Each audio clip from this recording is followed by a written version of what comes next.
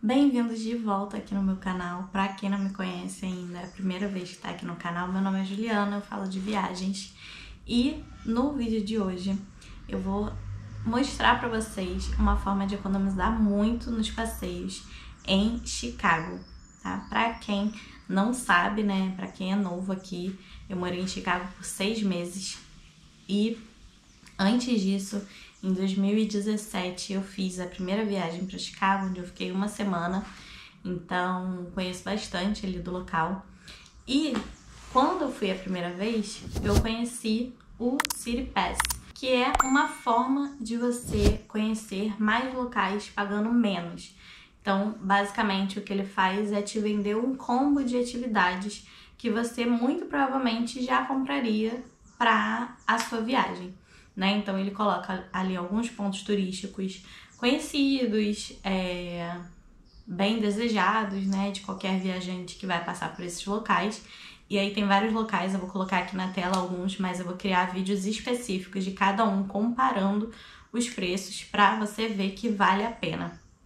E no vídeo de hoje não poderia começar por outro local, por outra cidade que não fosse, né, Chicago, que é a cidade que eu morei ali, então a cidade do meu coração. E nesse vídeo eu vou te mostrar como você consegue economizar bastante dinheiro na sua viagem, né? É, escolhendo, optando pelo City Pass ao invés de comprar cada ingresso separadamente.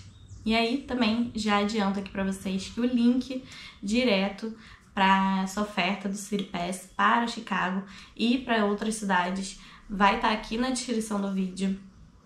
É, eu não sou é, parceira deles, né? Mas eu até me afiliei porque eu sempre falo deles desde que eu fiz a primeira viagem, ainda nem divulgava tanto assim no blog, nem aqui nem tinha canal no YouTube, na verdade eu tinha, mas não postava.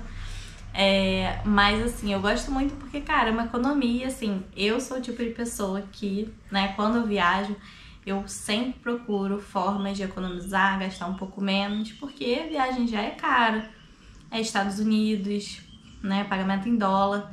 Então, assim, tudo que eu puder economizar, eu economizo e conto aqui pra vocês. Então, agora eu vou transferir vocês para a tela do meu computador, onde a gente vai fazer a comparação do que a gente gastaria comprando todos esses bilhetes de forma separada e o que, que a gente vai gastar comprando é, através do City Pass, né? O, o, o combo ali das atrações. Então, bora lá para a tela do meu computador.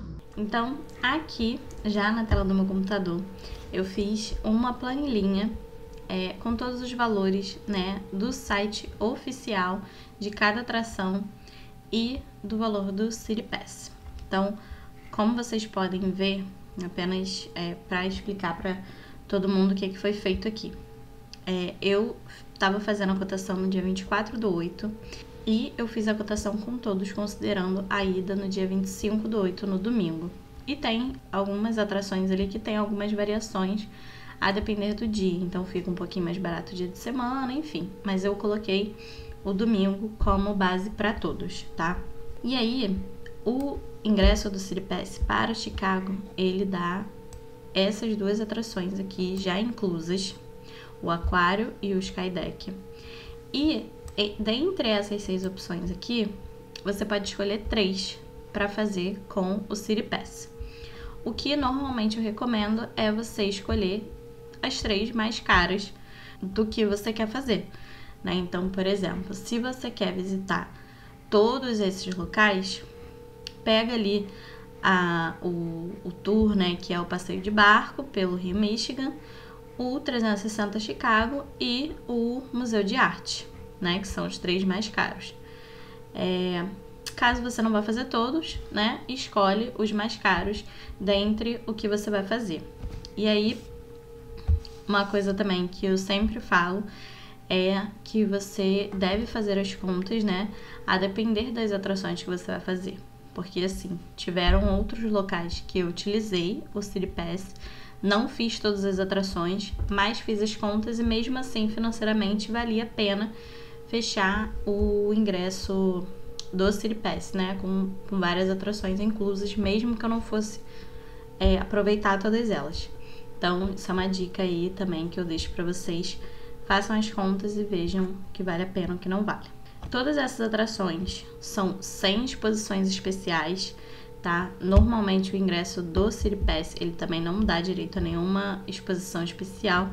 Pode ser que um caso ou outro dê uma exposição especial, tá? Mas como é, não tinha informação total ali, eu segui com os valores sempre sem exposição especial. E aí, o valor do City Pass hoje ele está saindo por 141 dólares. E aí, aqui embaixo, eu fiz o total considerando o que não entraria no City Pass, né? Ou seja, aqui eu estou considerando 141 pagando esses dois aqui que já estão inclusos e esses aqui que são os mais caros, tá? E aí, o que, que eu pagaria por fora seria o planetário, o Museu da Ciência e Indústria e o Field Museum, tá? Então, o que eu pagaria por fora seria R$ 80,95. Esse valor convertido, ou seja, a soma desses dois vezes 5, né? Eu tô usando 5 ali pro dólar só para facilitar, daria 1.110, né? 1.109 aos quebrados, 1.110 reais para fazer todos esses passeios com o City Pass. E pagando por fora os que a gente não conseguiria aproveitar esse ingresso. E pagando diretamente no site oficial de cada uma dessas atrações, a gente gastaria 1.518, né? Praticamente 1.520 reais. Ou seja, você tem uma economia de 410 reais. É assim, surreal. É uma economia muito boa e você já salva um dinheirinho ali para sua viagem. E aí eu vou mostrar aqui pra vocês a telinha do Pass quando você for comprar, tá? É, aqui tá falando, né, que você salva até 48% ali do dinheiro, né? Tem um valor aqui, lá eu coloquei o valor com taxa, né? Então aqui tá 139, mas com taxa fica 141. E aqui estão as informações que eu passei pra vocês. E aí aqui, ó, vem o que está é, incluso, né? Então, ó, o aquário ele está incluso a admissão completa, né? Com os as exibições, inclusive a experiência 4D. Na época que eu fui, já tem bastante tempo, mas na época que eu fui, tinham poucos horários para a experiência 4D, mas eu consegui fazer. Tem o Skydeck e aí né, entre as opções. E aí dá para você ver, ó, por exemplo, o filmezinho, ele tem aqui é, que ele está incluindo a admissão para os as exposições permanentes, né? E uma outra coisa também importante de falar aqui para vocês. Normalmente os locais têm filas diferentes para quem é City Pass né? Então você tem uma espécie de entrada é, prioritária ali quando você compra o ingresso através do Siripass. Isso também é uma coisa bem legal, porque né, você consegue salvar um tempinho ali de viagem, né? Por conta disso, né? Diferente de se você comprar o ingresso por fora. E aí, ó, aqui, por exemplo, ó, o planetário, ele tá aqui, ó, que é a entrada do museu mais dois shows de céu, né? E aí tá falando que as reservas são necessárias, né, para algumas atrações, que são o Aquário, o Skydeck, Museu da Ciência e Indústria, 360 Chicago e o Tour de Barco. E aí assim que você compra, você consegue, né, fazer as suas reservas, né, o seu planejamento ali. Tem o aplicativo, né, tudo mais, beleza? Uma outra informação importante também, ele é válido por nove dias, né? Então, a partir do primeiro uso.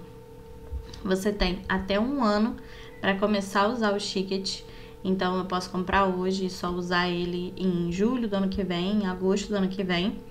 Mas a partir do primeiro dia que eu utilizar, eu tenho nove dias corridos, né, para ir nas atrações que eu quero ir com aquele ingresso. Então é isso. Então bora sair aqui do computador e encerrar o vídeo lá onde a gente começou. Então, gente, esse foi o vídeo de hoje. Espero que vocês tenham gostado ali de assistir, né, a diferença comparando a compra direta em cada site e a compra pelo combo. E, como já falei, né, eu vou deixar o link de tudo aqui embaixo para vocês conseguirem efetuar a compra de vocês quando vocês forem para lá. Espero muito que vocês tenham gostado. Se você gostou, né, não esquece de dar o seu like no vídeo e se inscrever para não perder nada que vem por aí. Obrigada, tchau!